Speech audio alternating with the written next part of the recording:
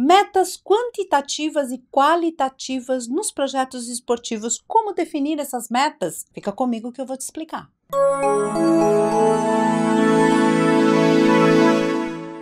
Antes de ir para a explicação, eu preciso pedir para você que ainda não se inscreveu no meu canal que faça isso e habilite as notificações ali no sininho para receber todas as atualizações de segunda a sexta-feira.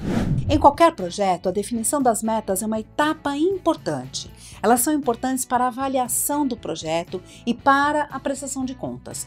Algumas leis solicitam realização de prestação de contas parcial durante a realização do projeto. Assim acontece nos projetos esportivos aprovados. Afinal, o que é uma meta?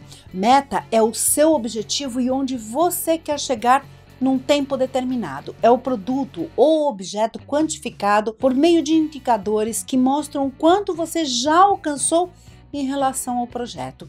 A meta é algo que se consegue de fato alcançar quando se realiza uma atividade. Elas são tangíveis, conseguimos medir. Portanto, quando você estiver detalhando as metas do seu projeto, pense como medir o que você está prevendo.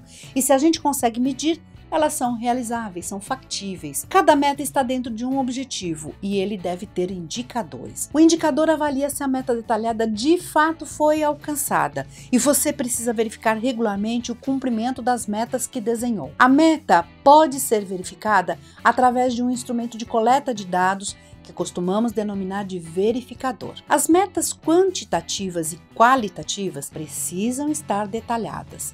As metas quantitativas vão ser sempre numéricas, você consegue medir com mais facilidade. Um exemplo de meta quantitativa pode ser a quantidade de pessoas a serem atendidas numa comunidade ou uma porcentagem de um público específico. Já as metas qualitativas não são numéricas, mas estão apoiadas em indicadores numéricos, percentuais ou situacionais. Exemplo de uma meta qualitativa: melhorar as condições de saúde do público a ser atendido. Aí você pode ter um indicador nessa meta que pode ser o índice médio de glicemia e pressão arterial desse público no início do projeto. E como meio de verificação se o projeto está atingindo a meta estabelecida pode ser o exame médico no início e no final do projeto. Outro exemplo de meta qualitativa que se costuma usar é o aprimoramento dos profissionais envolvidos no projeto. E como medir isso?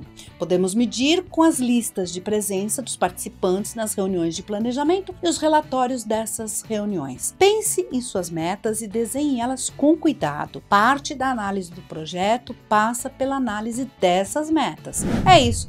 Se gostou do vídeo, deixa um like para eu saber que você gostou mesmo. Compartilha com os amigos que precisam da informação e aproveita para assistir os vídeos que eu separei para você. A gente se vê